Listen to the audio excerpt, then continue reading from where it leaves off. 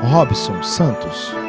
É com grande prazer que dedicamos esta singela homenagem em agradecimento a você que compartilhou de nosso sonho e por acreditar em nosso trabalho. Desejamos boas festas e que em 2012 Deus abençoe ricamente seus ideais.